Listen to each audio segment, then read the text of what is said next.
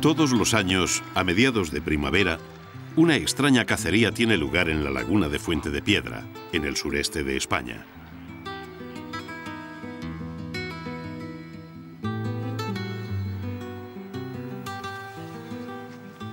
Al amanecer, una fila de hombres perfectamente coordinados se adentra en las orillas del lago Salino.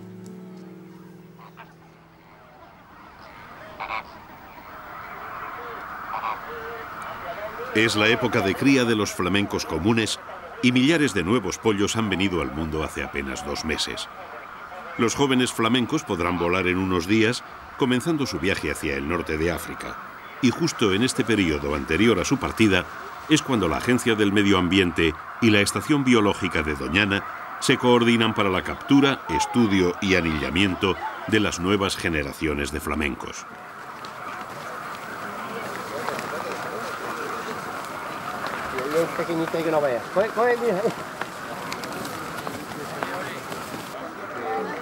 La laguna de Fuente de Piedra cuenta con la colonia de cría de flamencos comunes más importante de Europa, con más de 12.000 parejas.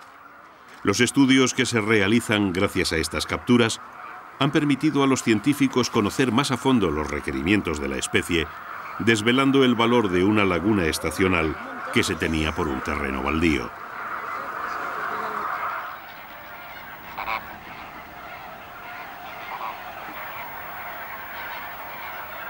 Lo que antes parecía un lugar yermo e insalubre, aparece bajo la luz de las investigaciones como un enclave imprescindible para la supervivencia de los flamencos europeos.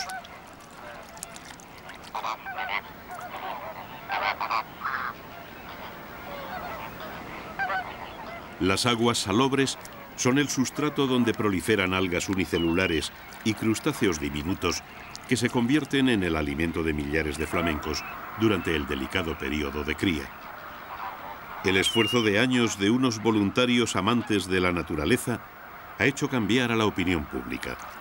Lo que se tomaba por un foco de enfermedades, una laguna que había que desecar, se ha convertido en una reserva integral admirada por el público donde los flamencos europeos pueden garantizar su supervivencia.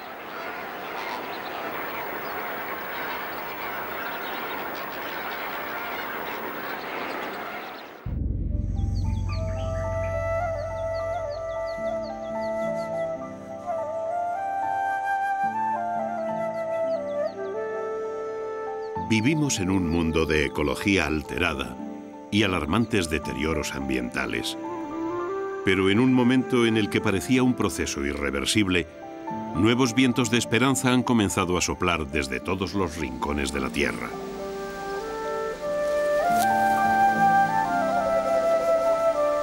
Ahora sabemos que la protección de nuestro medio ambiente, de nuestra ecología, es una tarea global donde todos los seres vivos y su entorno están relacionados.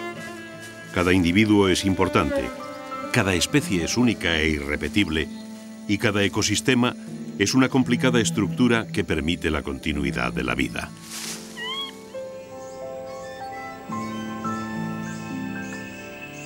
La ciencia está demostrando que proteger la biodiversidad es una obligación en la que nos jugamos el futuro de nuestra propia especie. Con ello se ha conseguido que los gobiernos del mundo empiecen a tomarse en serio el medio ambiente de una forma global. Ya no se trata de proteger únicamente una especie amenazada, sino de conservar los denominados puntos calientes de biodiversidad, enclaves donde se reúne el mayor porcentaje de especies animales y vegetales de nuestro planeta. Y para determinar estos santuarios imprescindibles, la comunidad científica, las organizaciones no gubernamentales y algunas grandes empresas financieras están por fin aunando sus fuerzas.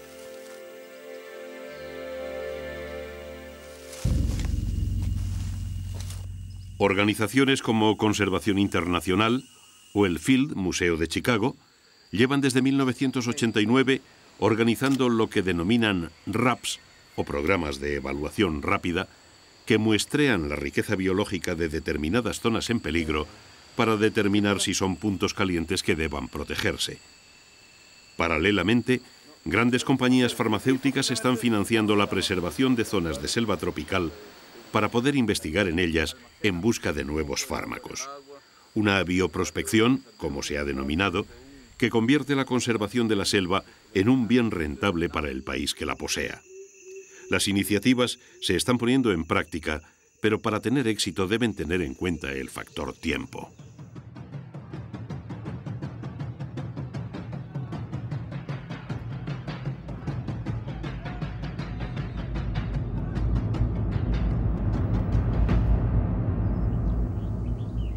Los puntos calientes de biodiversidad son lugares extremadamente frágiles, así que en muchos casos, como en el de las islas de evolución independiente, las medidas que hay que tomar para corregir su deterioro no sirven salvo que puedan dar resultados a corto plazo.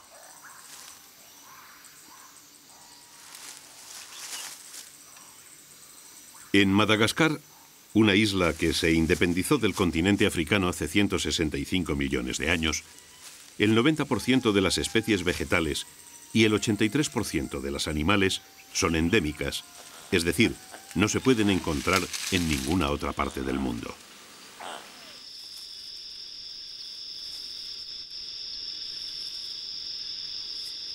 Esto les confiere el valor de la singularidad, pero las hace muy dependientes de su propio y exclusivo entorno, de forma que la pérdida de una sola especie puede desencadenar la desaparición de otras muchas.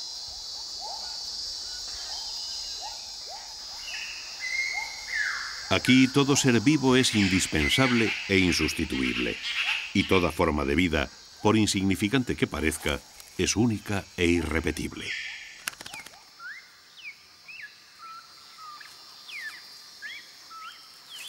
Estos lugares, esta variedad maravillosa de especies, llegaron a su estado actual en el transcurso de 165 millones de años de evolución en solitario. Y sin embargo, han bastado los 2.000 años que lleva el hombre en la isla para hacer desaparecer muchas de ellas. Y hoy, con la destrucción masiva de sus hábitats, podemos acabar con la mayoría de las que quedan en apenas unas décadas.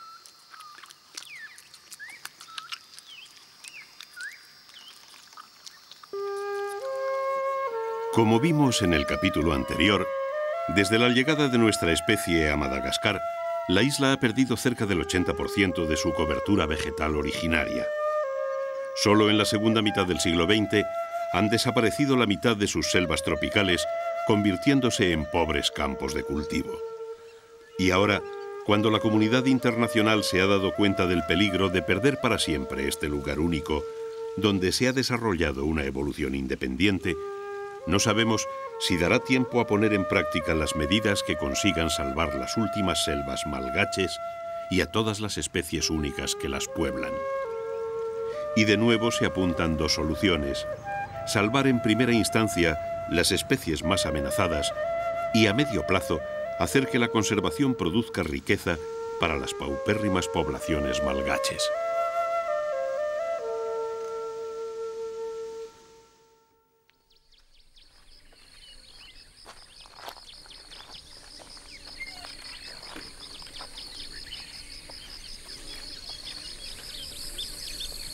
Mientras nuevas tecnologías y fondos internacionales ayudan a las poblaciones a desarrollar cosechas más productivas y ecológicas, un programa que engloba a más de 30 organizaciones zoológicas de todo el mundo está estudiando y reproduciendo las especies más amenazadas a fin de asegurar su supervivencia.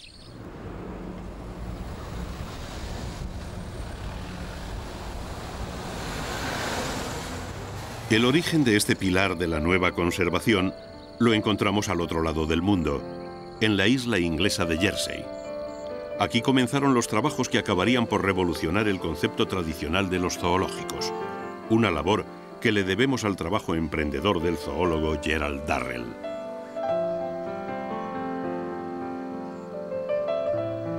Darrell consiguió hacer realidad su sueño de crear un zoológico donde las especies más amenazadas del mundo pudieran reproducirse para luego repoblar sus hábitats originales. Pero su labor fue mucho más allá.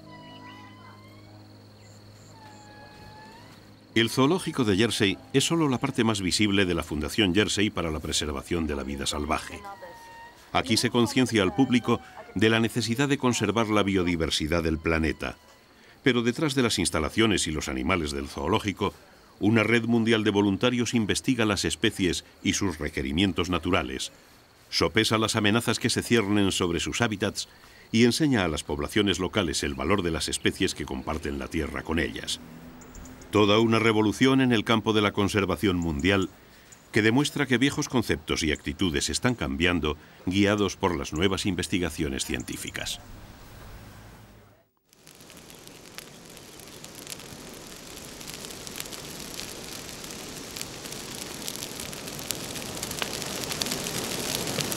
Fuego en los límites de la selva costarricense. El fuego ha sido siempre considerado como el peor enemigo del bosque. ¿Cómo se explica entonces que los causantes anden a sus anchas en el interior de un parque nacional como este de Santa Rosa? Nuevos conocimientos han llevado a nuevos cambios. Este, un equipo de voluntarios del Servicio de Parques Nacionales de Costa Rica, prende fuego al pasto de áreas deforestadas con una doble intención. Instruir a nuevos voluntarios en la lucha contra el fuego y enriquecer el suelo para una lenta y paulatina regeneración hacia la selva original. Porque ahora sabemos que el fuego, que destruye selvas enteras, tiene también un papel revitalizador en determinadas circunstancias.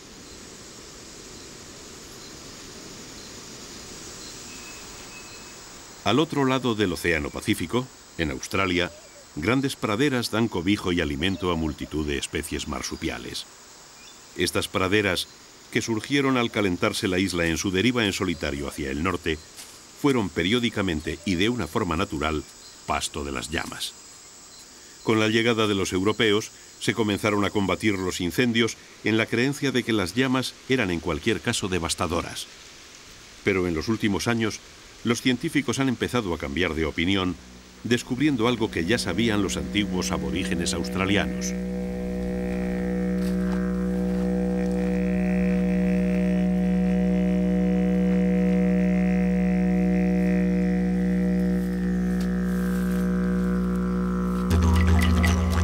En determinadas zonas, los incendios controlados revitalizan el suelo y las poblaciones vegetales que lo colonizan, regenerando el ciclo del carbono y rejuveneciendo toda la comunidad vegetal. Estos incendios provocados se realizan bajo control en parques nacionales de todo el mundo. Los conocimientos científicos están convirtiéndose en un arma fabulosa de la conservación. Pero para que el resultado de sus aplicaciones perdure, es imprescindible otro de los pilares del nuevo concepto de conservación, la concienciación y comprensión de los habitantes locales.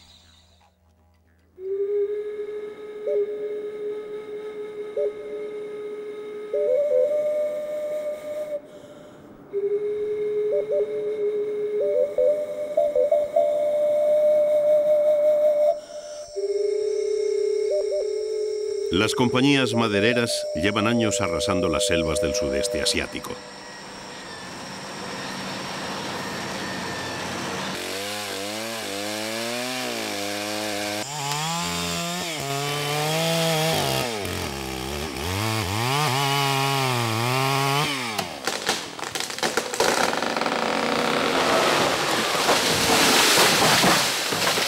Aquí, en Borneo, las selvas que hace apenas 30 años cubrían el 90% del territorio eran tan extraordinarias que la isla era uno de los baluartes de la biodiversidad terrestre. Hoy, sin embargo, se ha talado y quemado a tal escala que Borneo ya no puede considerarse como tal.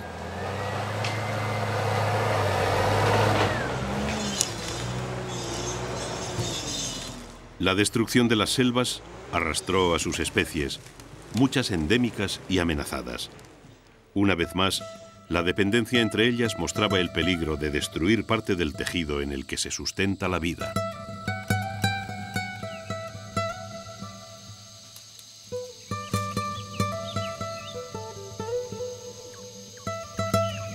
Para los orangutanes, cuya dieta abarca más de 400 tipos de frutas, hojas, flores y cortezas diferentes, la pérdida de la selva suponía quedarse sin alimento y por lo tanto iniciar un rápido camino hacia su extinción.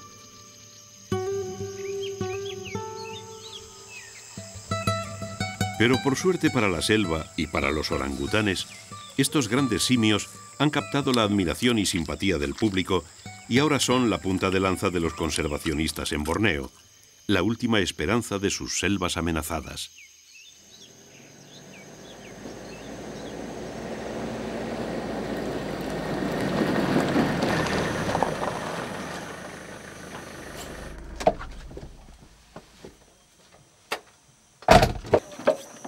Todo comenzó cuando Bárbara Harrison, del Museo de Sarawak, tuvo la idea de socorrer a los orangutanes huérfanos capturados por los madereros y enseñarles a valerse por sí mismos en libertad. La tarea no resultó fácil porque los orangutanes tienen una infancia muy larga donde dependen exclusivamente de sus madres que les enseñan no solo qué comer, sino cómo obtener y preparar su comida. Pero esto no desanimó a Bárbara Harrison.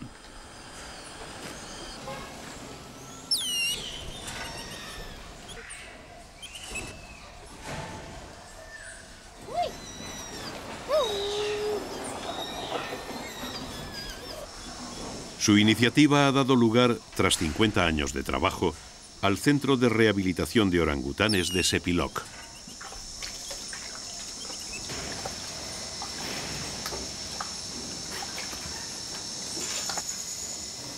El trabajo en el centro está dando resultados que van más allá de la reintroducción de los orangutanes, porque desde aquí se está empezando a concienciar a ciudadanos y gobiernos de la necesidad de conservar las últimas selvas de Borneo. Y la clave, una vez más, es el público que llega atraído por estos expresivos primates que tanto nos recuerdan a nuestra propia especie.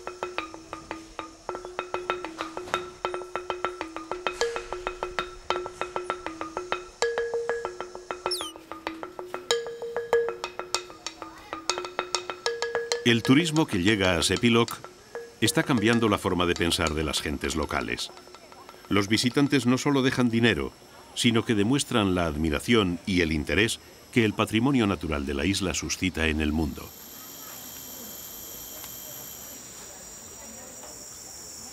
Las madereras que provocaron los incendios que han devastado las selvas de Borneo se han quedado sin el apoyo de los gobiernos de la isla, que están empezando a pasar las concesiones a ONGs dispuestas a pagar por conservar. Estas ONGs demuestran que la conservación resulta rentable y abre los ojos a políticos y nativos locales que están empezando a ver en las selvas su seguro de vida.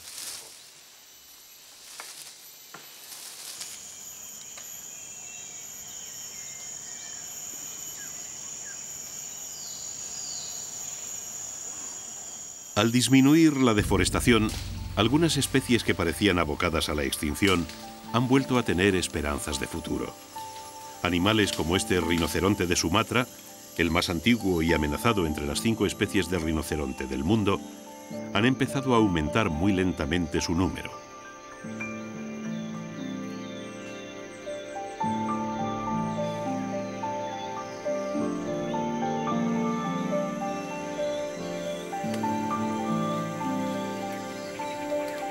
Y al ver en las selvas un valor tangible, las poblaciones locales que antes quemaban el suelo para obtener un par de cosechas raquíticas, participan ahora en la reforestación de los terrenos esquilmados.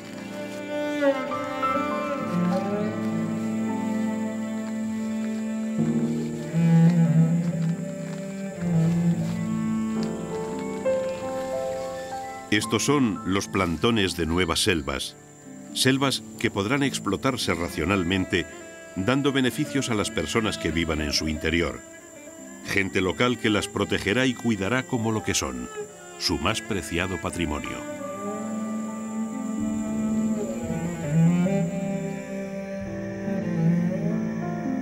Y poco a poco, el milagro parece hacerse realidad y nuevas selvas empiezan a plantarse allí donde se las había talado y quemado durante generaciones.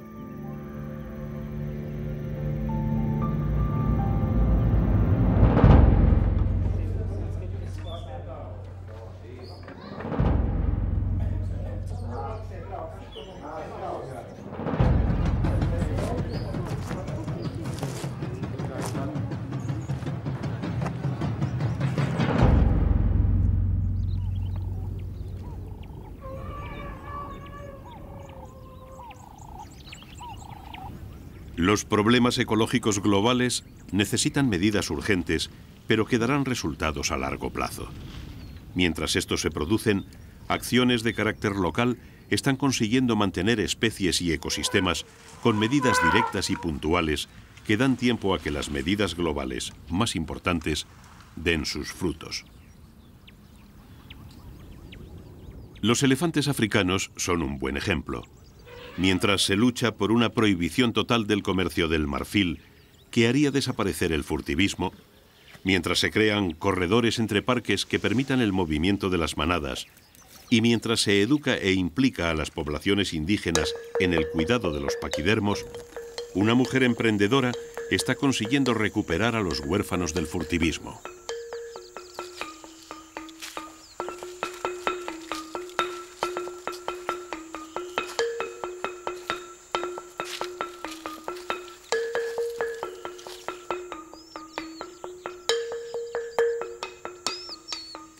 Las afueras de Nairobi, en Kenia, el orfanato de Daphne Sheldrick acoge a los pequeños paquidermos que han perdido a sus familias.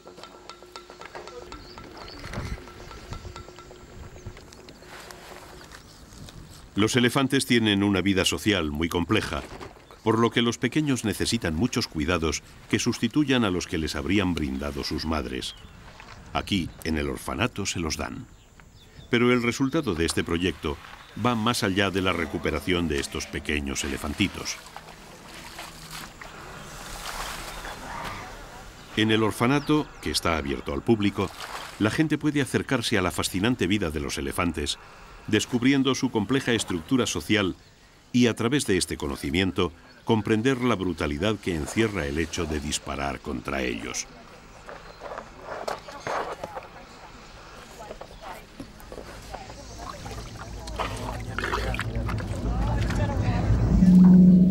El orfanato acoge también a otros colosales huérfanos.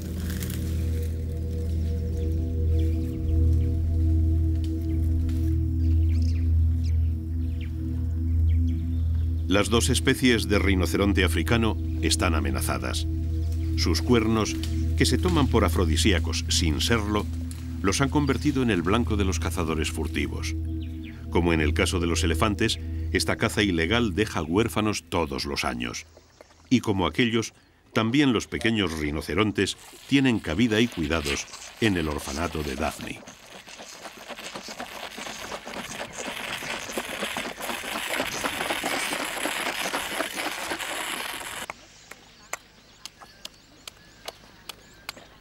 Así se siembran las semillas de una nueva conciencia.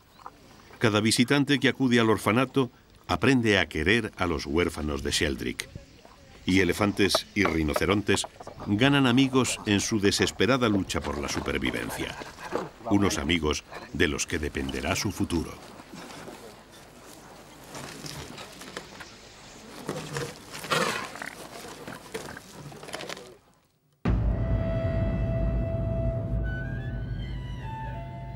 Algunas especies, sin embargo, tienen mucho más difícil ganarse la amistad del hombre. El lobo ha estado presente en nuestras pesadillas desde niños. Se nos ha enseñado a temerlo, a evitarlo, a odiarlo. Durante siglos lo hemos perseguido como a un enemigo dándole caza sin tregua. Tal vez en nuestros orígenes fuimos nosotros la presa. Luego pasamos a ser los verdugos. Y ahora estamos intentando convivir con ellos, compartiendo y respetando nuestro papel de superpredadores,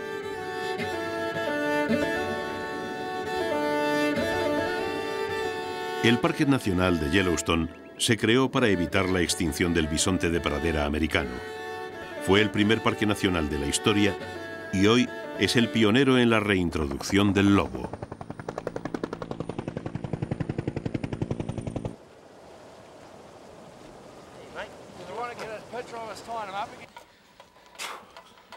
Cuando se creó el parque en 1872, los lobos grises nacían y vivían en Yellowstone. Pero en una región ganadera como esta, los lobos eran enemigos y se los cazó hasta hacerles desaparecer.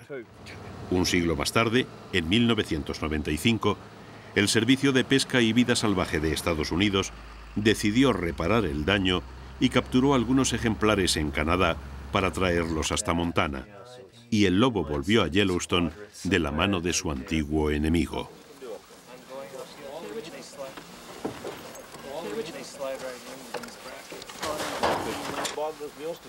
Después de años de preparación, en 1995 se trajeron 14 ejemplares y al año siguiente otros 17 desde British Columbia.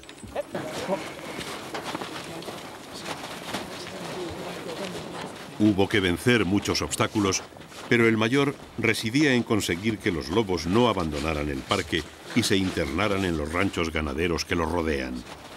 Había costado demasiado trabajo concienciar a las poblaciones limítrofes como para tener prisa al final, así que los lobos se soltaron progresivamente después de haber permanecido cautivos en cercas montadas dentro del parque y después de haberles puesto radiocollares para poder seguirlos en todo momento.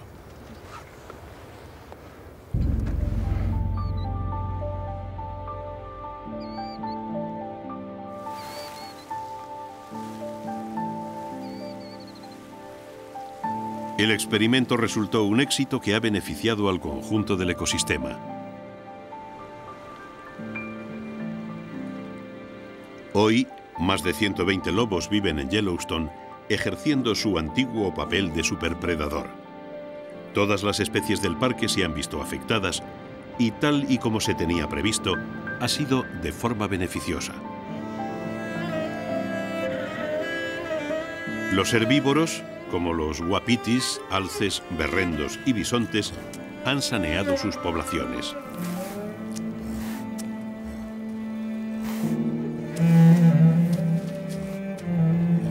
Las comunidades vegetales han mejorado al disminuir progresivamente la presión desmedida de los herbívoros y grandes predadores como el oso grizzly han aumentado su número al poder alimentarse de las capturas de los lobos. El parque entero parece sanearse año tras año, acercándose más a su equilibrio ecológico natural. Lo que parecía imposible se ha hecho realidad.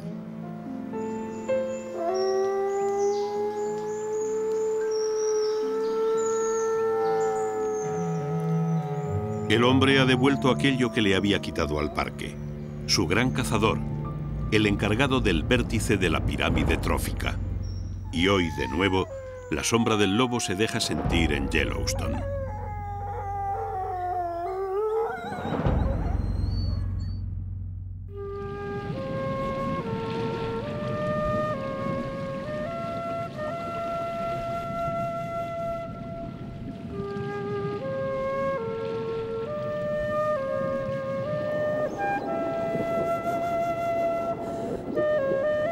También en los arrecifes corren vientos de esperanza.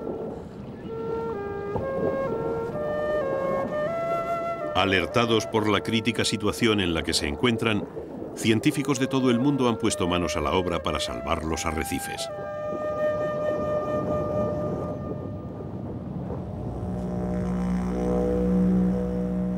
En Australia, donde se encuentra la Gran Barrera Recifal, la mayor barrera de arrecifes del mundo, los investigadores han dado la alarma mundial por el deterioro debido al calentamiento general de nuestra atmósfera. Pero mientras se toman las macromedidas a nivel mundial y hasta que surtan efecto, los investigadores australianos están emprendiendo acciones prácticas que minimicen el daño a las comunidades coralinas.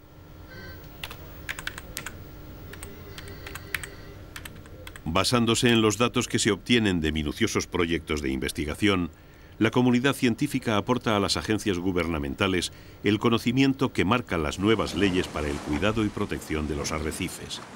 Estas leyes tienen aplicación inmediata y aquí, en Australia, están dando resultados esperanzadores.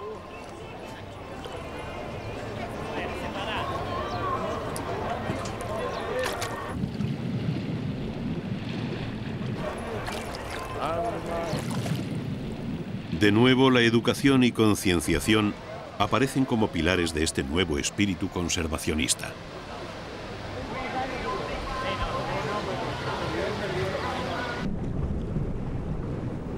Educar al turismo que acude a la Gran Barrera es reclutar defensores de la comunidad coralina.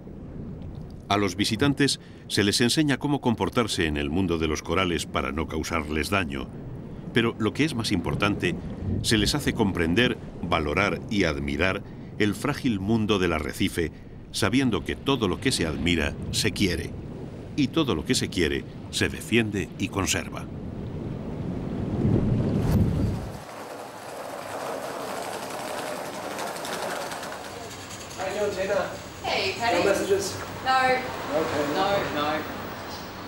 Esta nueva tendencia, que podríamos resumir como educar para conservar, cuenta en Australia con un ejército de voluntarios.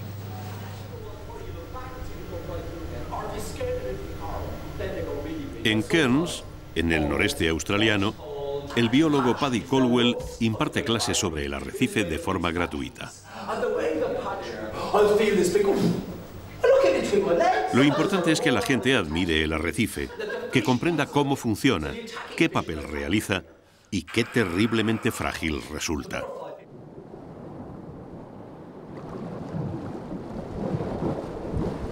El resto es una cadena creciente de admiradores de este mundo sumergido, personas que aportarán su granito de arena en la conservación mundial de los arrecifes.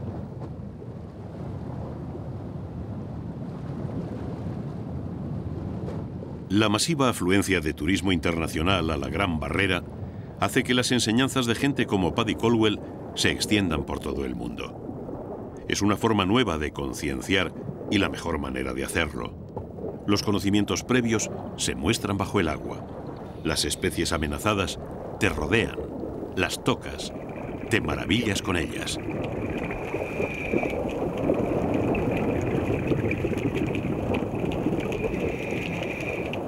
Aprender el funcionamiento del arrecife es importante. Conocer sus especies te acerca a admirarlo. Pero es aquí, sintiendo y palpando su interior, cuando comprendes la importancia intrínseca que tiene.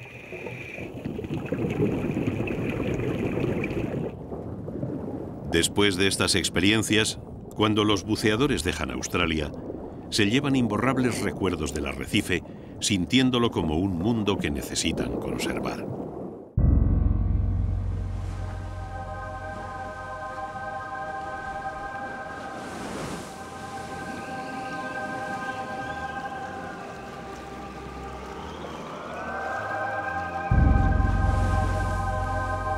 En las antípodas de la Gran Barrera Australiana, otra lucha incruenta por los ecosistemas marinos está ganando importantes batallas.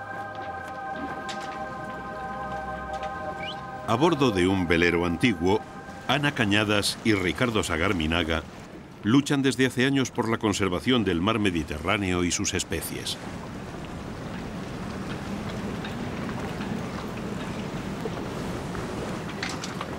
Juntos formaron Al-Nitak, una ONG destinada al estudio y conservación de los ecosistemas mediterráneos.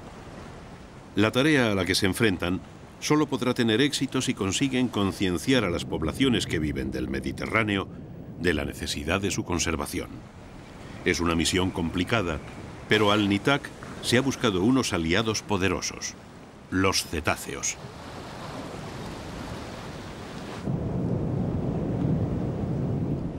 De la mano de delfines, calderones y ballenas, Ricardo y Ana están consiguiendo que su mensaje cale en la sociedad. Los delfines y el carismático Toftebag, el barco de la organización, se han convertido en excelentes mensajeros para hacer llegar al público la información acerca del medio ambiente marino y los problemas a los que se enfrenta. Más de 10 años de investigación y planificación están empezando a dar su fruto y la meta de conseguir crear una reserva marina para cetáceos en el mar de Alborán está ahora más cerca.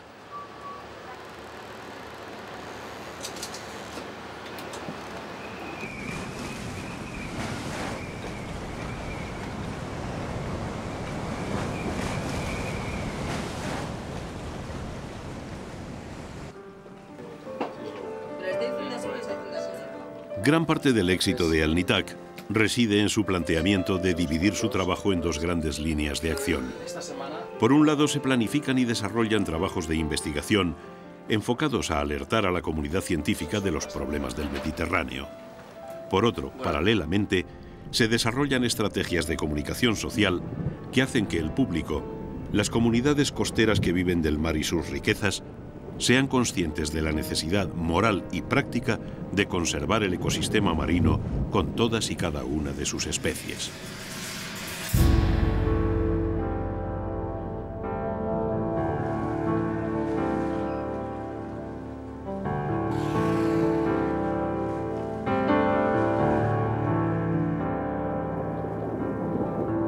Los cetáceos, especialmente los delfines y calderones, juegan en este último objetivo un papel fundamental.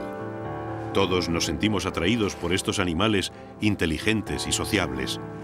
Son, pues, emisarios eficientes de cuantos problemas sufre su entorno. Es indudable que nos sentiremos más conmovidos por los problemas de un delfín o de unos calderones como estos que por aquellos que padezcan unas gorgonias, unos chanquetes o unas medusas. Pero como los problemas de los ecosistemas afectan a todas sus especies, estos mensajeros privilegiados consiguen una concienciación social que beneficia a todas las criaturas del mar.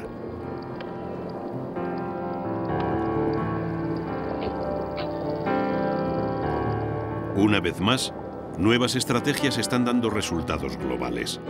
Estos emisarios del mar se han convertido en la esperanza de millares de especies.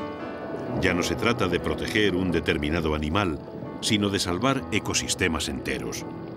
Pero en algunos casos, como es el del mar Mediterráneo, son especies concretas las que tienen la llave para el corazón y la conciencia de las sociedades humanas.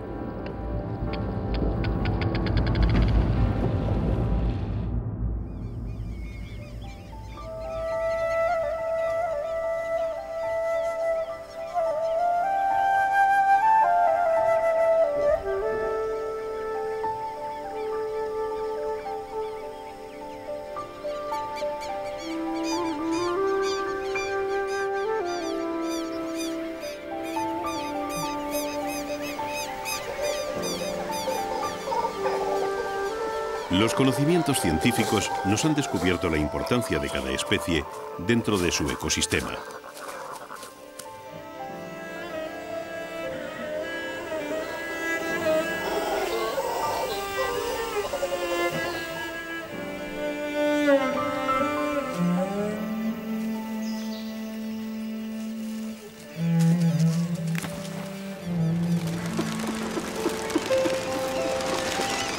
Las nuevas tendencias conservacionistas nos han enseñado la necesidad de una concienciación social donde el público comprenda la importancia de todos los ecosistemas y sus especies.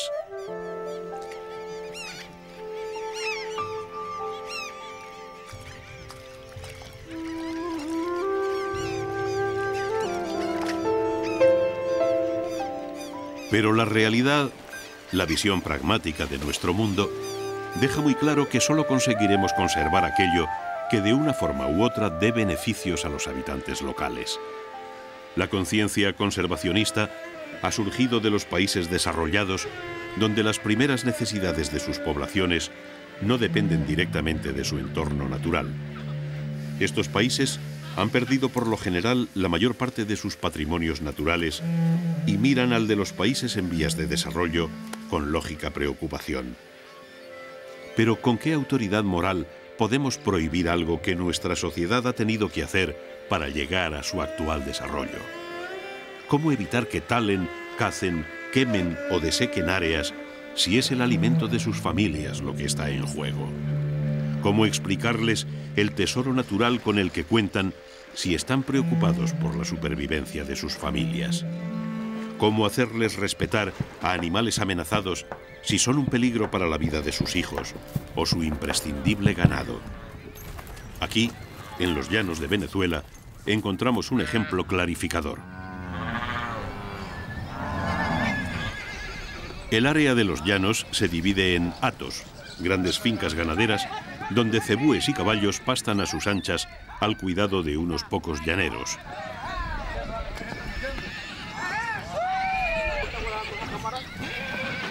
Los terrenos permanecen en su estado original porque tradicionalmente se han dedicado a la ganadería extensiva.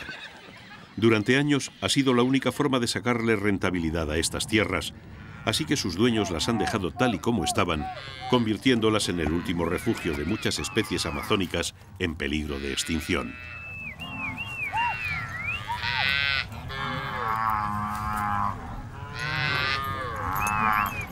Pero los llanos no es un territorio rico para la ganadería, y los animales sufren grandes limitaciones y enfermedades que les hacen cada vez menos rentables.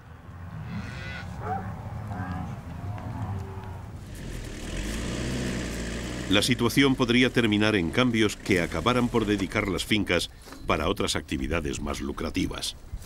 Pero año tras año, la naturaleza intacta de esta tierra austera se está convirtiendo progresivamente en su fuente de financiación.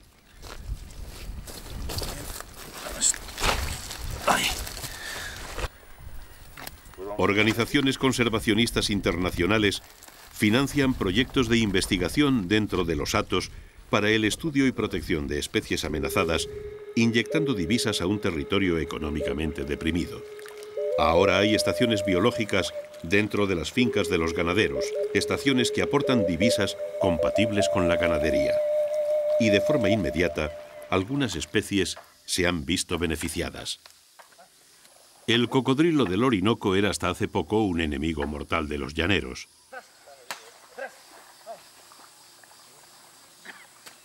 Los reptiles mataban sus reses y eran un peligro potencial para las personas, dado su tamaño y agresividad, de modo que se cazaron hasta casi hacerlos desaparecer. Hoy, en atos como el del frío, los cocodrilos del Orinoco son objeto de estudio y protección, y se están llevando a cabo programas de cría en cautividad y de repoblación en áreas esquilmadas por los llaneros.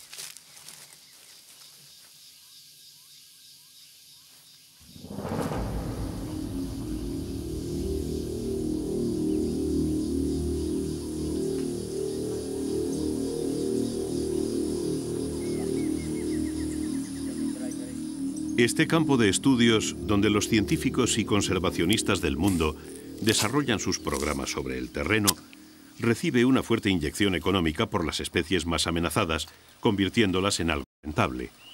Los propietarios salen ganando, los conservacionistas salen ganando, la ciencia y el conocimiento salen ganando y el cocodrilo, desde luego, sale ganando. No es de extrañar, pues, que la población de cocodrilos del Orinoco haya empezado una lenta pero prometedora recuperación en los atos de los llanos de Venezuela.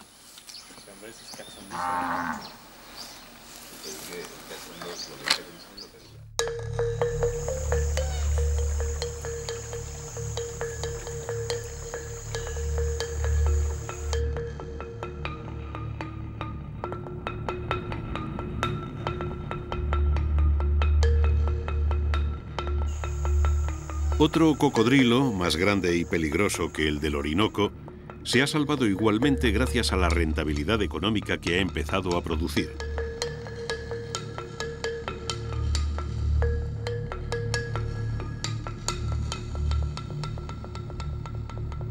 Con sus 8 metros de longitud máxima, el cocodrilo marino es el mayor reptil del mundo.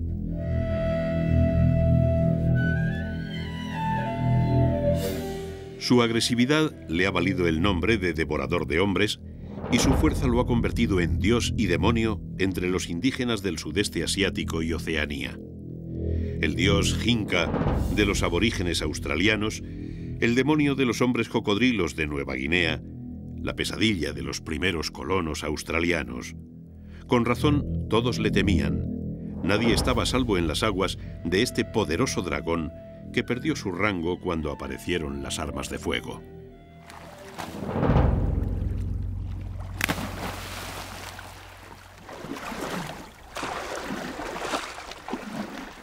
La caza indiscriminada estuvo a punto de hacer desaparecer al cocodrilo marino. Pero entonces una nueva alternativa se les ocurrió a los naturalistas y granjeros australianos. Una alternativa que salvaría la vida a la especie.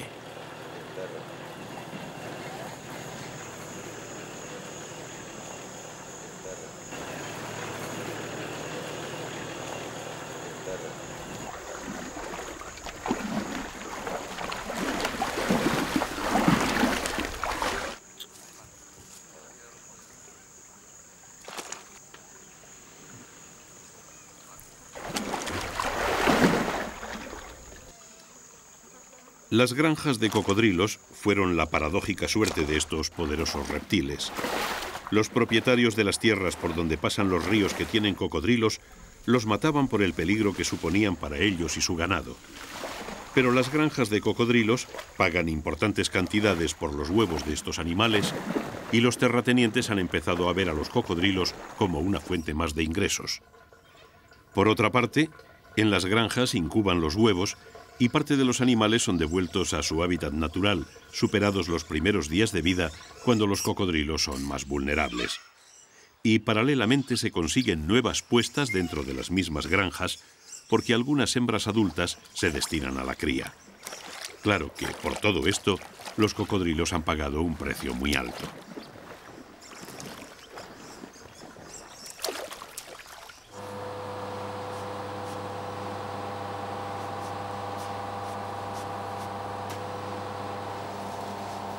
La piel de los cocodrilos marinos es el mejor cuero del mundo.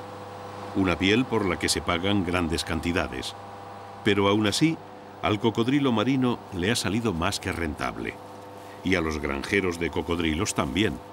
Porque junto al cuero, nuevas fuentes de ingresos han aparecido en forma de turismo. En las mismas granjas donde se vende la piel de los cocodrilos, se están empezando a montar espectáculos para que el público conozca y admire a este poderoso saurio.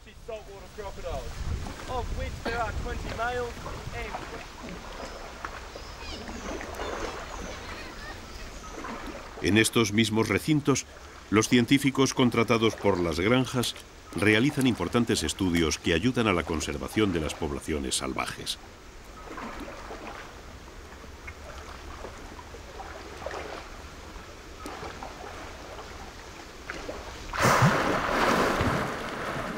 Y las charlas y enseñanzas de los monitores de las granjas muestran la forma de evitar ataques de este superpredador mientras educan a la gente para que admire y valore esta reliquia superviviente de otras eras.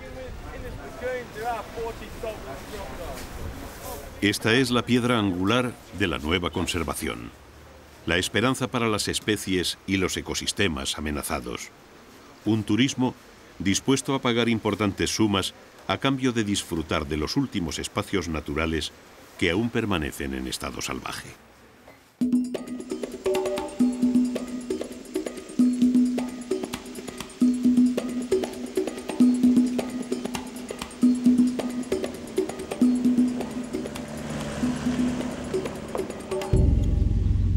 Un turismo diferente se está extendiendo por todo el mundo. Estos nuevos viajeros buscan reencontrarse con la naturaleza, sentir el ancestral pulso de nuestros orígenes, dejarse llevar por la llamada de las tierras vírgenes.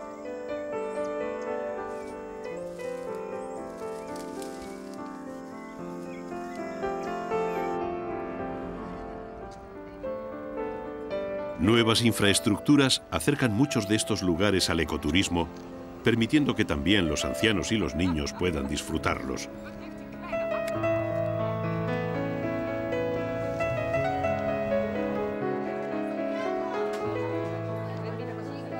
Cada día nuevos espacios naturales se abren al turismo.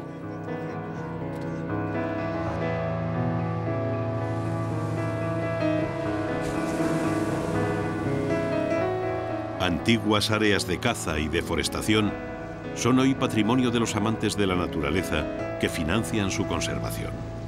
Y los viajeros pueden acercarse a especies que hace algunos años hubieran creído peligrosas y temibles.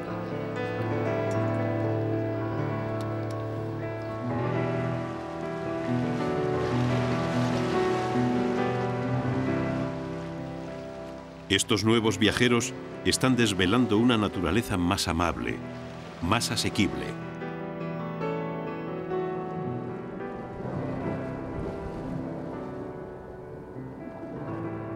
Antiguos monstruos hacen las delicias de estos audaces turistas.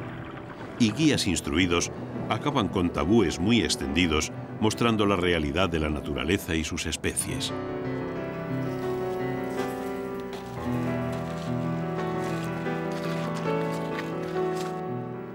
Los ingresos que deja el turismo ecológico van más allá de la nueva conservación.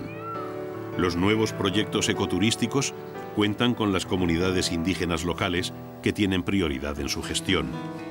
De estas comunidades salen los guías y guardas de las reservas, los dueños de los alojamientos donde se hospedarán los turistas, los artesanos que les venderán los recuerdos.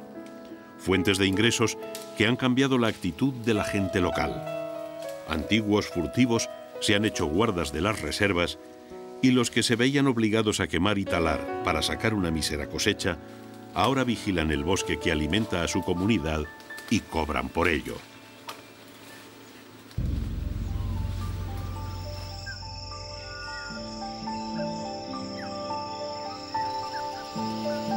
Corren vientos de esperanza para una naturaleza al borde del abismo. Y un futuro común y prometedor se abre ahora para los últimos santuarios naturales y sus habitantes, incluyendo a la especie más controvertida y adaptable de todas, la única que tiene la capacidad de corregir sus errores. Nosotros, los seres humanos.